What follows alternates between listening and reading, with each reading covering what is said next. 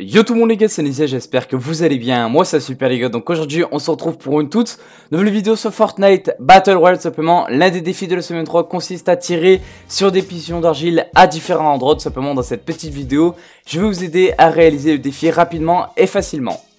Tout simplement, vous allez faire comme moi dans le gameplay, une fois que vous avez trouvé une machine, vous allez vers la machine, vous la démarrez à l'aide de vos touches d'interaction, donc moi personnellement c'est F, mais je sais par exemple que sur PS4 c'est carré, une fois appuyé il y aura des petites assiettes ou des petits canards qui vont sortir, il faudra tout simplement les shooter une seule fois et après vous trouvez une autre machine pour réaliser vos défis.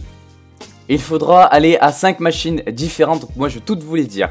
Déjà, il y en a une à côté du manoir, à côté de Pleasant Park. Donc, de toute façon, vous avez tous les points sur la carte que je vous ai mis. Vous en avez un à côté de Lonely Lodge. Vous en avez un entre Greasy et Flush Factory. Vous en avez un au nouveau lieu, au désert, simplement à côté de Paradise Palms, vers la rivière. Et le dernier se situe tout simplement à Loot Lake. Et voilà les gars, c'est déjà la fin de la vidéo, j'espère en tout cas qu'elle vous aura aidé et qu'elle vous aura plu, c'est le cas, n'oubliez pas le petit pouce bleu, ça me ferait extrêmement plaisir, à commenter la vidéo pour un peu donner votre avis, à vous abonner si c'est pas déjà fait et à partager la chaîne les gars, ça me ferait extrêmement plaisir. C'était Nesia, Roto 3K, allez, salut tout le monde.